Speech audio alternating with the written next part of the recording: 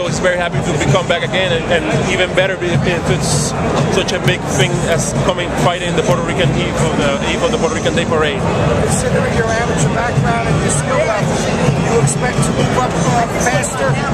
De, de, de acuerdo, ¿verdad? El, el, el, lo que tú ya sabes, ¿verdad? De, de que has tenido una carrera aficionado tremenda, eh, tú entiendes que tú te vas a ir desarrollando más rápido y, vas, y pues, te vas a poner para más fuertes antes de lo, de lo que normalmente, ¿verdad? Normalmente sea, Yo entiendo, yo entiendo que sí, eh, todo se lo debo al aficionado, Eh, le doy mil gracias al aficionado.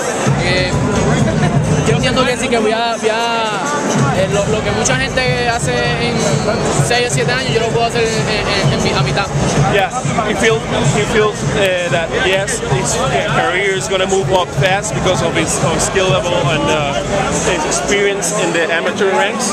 And uh, whatever they put in way, his way, every every opponent he's going to fight with whoever put his way. When do you expect to start fighting six and eight round fights? Sooner than later? What? When do you expect to start fighting six Next next the next fight is six rounds. Already know six rounds. Okay. Thank you. Okay.